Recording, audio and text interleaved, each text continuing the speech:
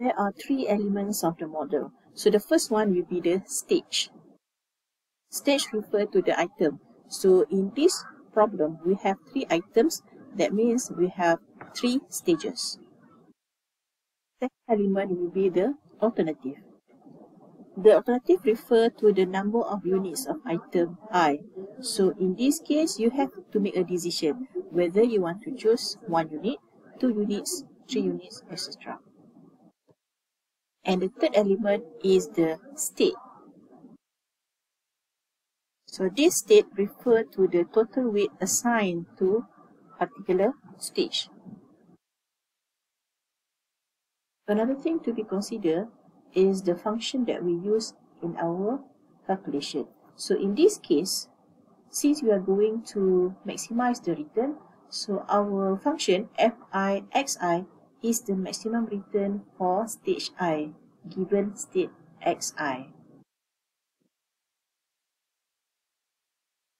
So in this case, fixi will be the maximum of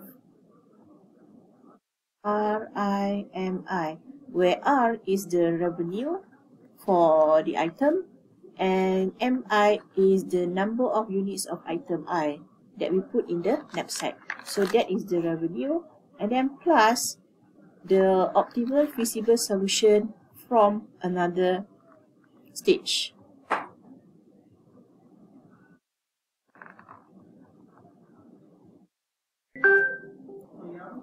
So this is the function that link all the stages.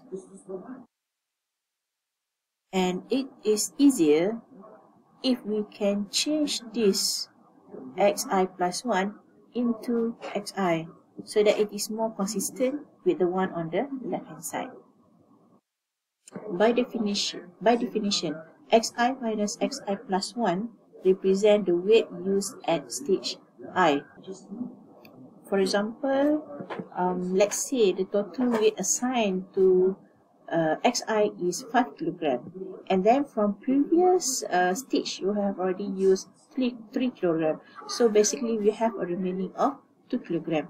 And this 2 kilogram can be used to decide on how many items or how many units of item i that we should um, choose. Okay? And this one is equals to WIMI. Okay, because MI is the number of units of item I and W refer to the individual, individual weight of item I. So if we rearrange this equation, it will be xi plus 1 equals to xi minus wi mi. Okay, and we can substitute this into this one. Okay, so xi plus 1 is equals to xi minus wi mi.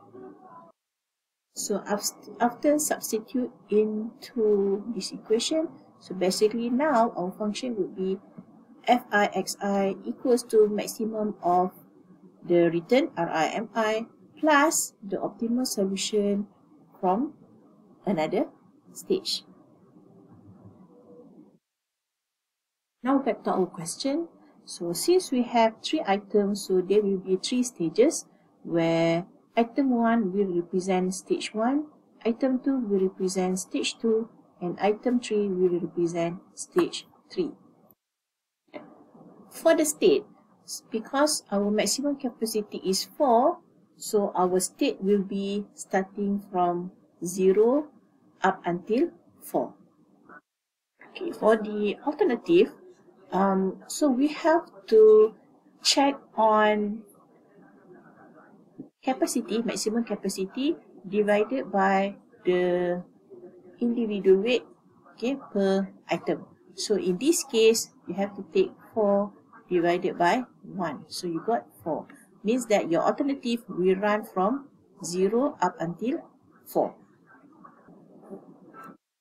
And now for the function, uh, at stage 3, since we still don't have any optimal solution from other stage, so basically we just focus on the return that we will have from stage 3. So we want to find the maximum of return where our return is 14 of M3. Okay, why 14? Because 14 is the revenue for item 3 and M3 is the number of unit uh, number of unit of item 3. So this will be our function. And we will use this function when calculating this value. Okay, and then one more thing, there are also um, some infeasible area that we can just exclude from our calculation. So how we are going to know which one is the infeasible area? So basically we can use this equation, okay? WIMI should be less than or equals to XI. Or in other words, XI should be greater than equals to WIMI. Means that, okay, for example, if let's say, because XI is the, the total weight assigned. If let's say the total weight here is 0. Okay, if let's say you have total weight is 0. So if you have 0, then it's okay if you choose M3 equals to 0. Means that you don't select any of item 3. But if let's say you have zero capacity, I mean zero weight, um, zero weight capacity, but then if let's say you want to choose one unit of item 3, the one is invisible, okay? Because uh, in order to choose uh, one unit of item 3, it will require 1 kilogram. But if x3 equal to 0, basically you don't have any uh, capacity. And same goes here. If let's say you choose for x3 equals to 1, means that you have 1 uh, kilogram of weight, okay, the capacity is 1 kilogram, but then you choose to um, pick 3 um, units of item 3, okay. Also, this is impossible. Why? Because if you choose 3 units of item 3 and each unit require 1 kilogram means that you need 3 kilogram. But your capacity is only 1 kilogram. So in order for us to find what is the, I mean, where is the invisible area, so basically we have to use this one. So when M3 equal to 0, times weight, equals to 1, so 0 times 1 is 0. So that's why no problem if you start from x3 equals to 0. But here, if let's say m3 equals to 1 times your weight equals to 1, okay, so 1 times 1 is 1. So basically, you will have your answer starting from x3 equals to 1. So there is no answer ataupun infeasible for x3 equals to 0. If let's say m3 equals to 2, so 2 times 1 is 2. So you will start your iteration uh, when x3 equals to 2. So there is no value when x3 equals to 0 and x3 equals to 1. If m3 equals to 3, so 3 times 1 the weight. So 3 times 1 is 3. So your calculation will start at x3 equals to 3. So there is no value when x3 equals to 0, when x3 equals to 1, and when x3 equals to 2. Now, when m3 equals to 4, 4 times 1 is 4. So basically, you will start your iteration at 4 when x3 equals to 4. So there is no value when x3 equals to 0, when x3 equals to 1, when x3 equals to 2, and when x3 equals to 3. So now we can substitute the value of m3 into our function. Okay, so when m3 equals to 0, the function is 14 times m3. So when m3 equals to 0, so 14 times 0 is 0. So basically here for this column, all of the answers here are 0. Now, when m3 equals to 1, so using this function, 14 times 1 is 14. So basically, all of the values here will be 14. When m3 equals to 2, so 14 times 2 is 28. So all of the values here will be 28. And when m3 equals to 3. So 14 times 3 is 42. So the value here will be 42. And finally, when M3 equals to 4, so 14 times 4 is 56. So the value here is 56. Now we have finished all of the alternative, the value for alternative. This one is for optimal solution. Okay, so you have to compare when x3 equals to 0, okay, what is the value here? So in this case, for this row, the first row, you only have this value 0 and then the rest is infeasible solution. So basically the value here is 0.